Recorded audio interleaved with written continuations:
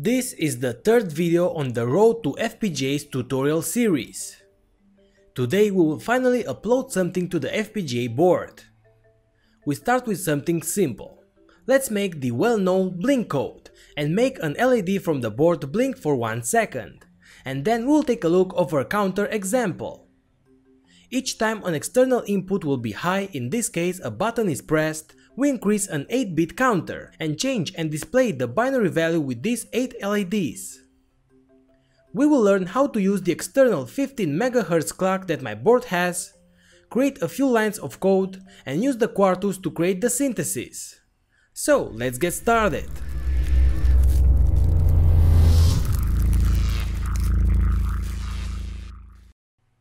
What's up my friends, welcome back. The first thing we need is an FPGA development board. I've got mine from eBay, and it is a Chinese board that uses the Cyclone 4 FPGA, a 15 MHz clock, and it comes with a USB blaster for JTAG connector, so we could upload the synthesis to the chip. The board has multiple modules on it. We have a 7 segment display, a PS2 connector, an infrared sensor, buttons, LEDs, RS-232 connectors for VGA screen and a lot of other pins outputs.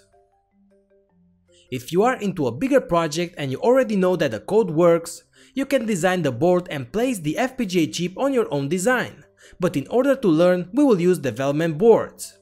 Speaking of PCB design, JLC PCB is the sponsor of this tutorial video. They are a professional PCB manufacturer with over 10 years of experience. They offer multiple services, such as prototyping PCB manufacturing for 2, 4 or 6 layers, worldwide shipping and the most competitive price in the world nowadays. Upload the Gerbers, select the settings and easily order the PCB. So back to our FPGA. I use Quartus to synthesize the code, but I create my codes in ModelSim. I've already shown you how to download and install those in the past video. First, I create a new folder for our project and name it Blink in this case, or however you want. Let's be organized and inside create as before the src, the MISC, testbench and sim folders. Now open ModelSim and create a new project and save it in the sim folder. Now create a new Verilog file and save it to the src folder. Here is the first code that is more than simple. I create my model with one input and one output. The main clock as an input and the LED as an output. Then we create two registers. One for counting the elapsed time so we could change the LED status each second, and the other one to save the current status of the LED. With the always statement, at each positive edge of the clock input, I will increase the counter by 1. My board has a 15 MHz crystal clock, so in order to count 1 second, the counter has to reach 15 millions. When reached, we invert the status of the LED and reset the counter. Finally, I assign the status value to the LED output. Compile the code, and if we have no errors, let's open Quartus. Now go to File and create a new project. In the introduction window click next. Now in this window click this button and select the MISC folder and then type the name of the project, Blink in my case, and click next. Now here select an empty project and click next. Now we add the Verilog file from the search folder. Open, select it and add it to the project and now click next once again. Here you have to select your FPGA. In my case it's a Cyclone 4 and the name is EP4C E10 E22 C8. Select it and click next and finish. Now here go to files and open the Blink code. Go to processing and select start compilation. After the compilation is complete, we can assign real pins of the chip for our inputs and outputs go to assignments and select pin planner.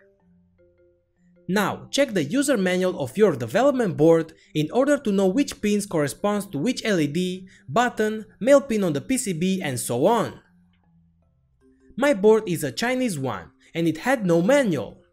But they give you this PDF file, so I was able to find the pin for the first LED, this one here, so it's the pin 142. And for the 15 MHz clock it's pin 91. So you have to select those here for the clock and LED output and close this window. Now you have to go to processing, start, analysis and synthesis or just press Ctrl K. Now the synthesis is ready. Connect the USB blaster to your PC and in control panel make sure that the driver for the Altera blaster is installed automatically. Otherwise you will have to install it manually for your type of blaster. Now go to tools and select programmer and here is the file that we will upload to the chip. Select hardware setup and here select the USB blaster we have just connected by double clicking on it. Now press start and in a second the code is uploaded to the chip and the LED is blinking each second. You could change the counter value here and make the blink faster or slower. So guys, we have finally uploaded something to the board. Now let's go with the second example for a push counter. You should read all the comments in the code and you will understand more.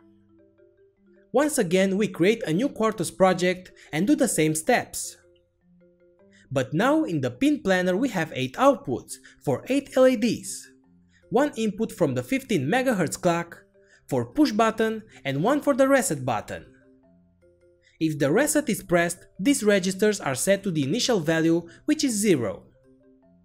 If the button is pressed, with these counters we create a crude debounce for the button, otherwise there will be more increments for just one push, since the button will oscillate a few times when pressed.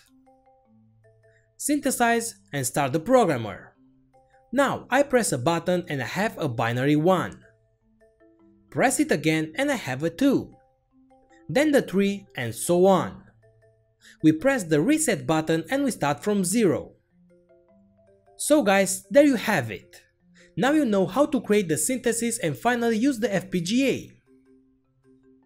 You have the project files for both examples below, and each code has comments, so you will definitely understand them because they are very simple. In the next video I'm preparing a Verilog word communication, so stay tuned. I hope that you enjoyed this third tutorial and that you have learned something new. Make sure to hit the subscribe button and the notification bell in order to see my future videos. And also click the like button like crazy and share this video with your friends. And remember, if you consider helping my projects, check my Patreon page as well. Thanks again and see you later guys.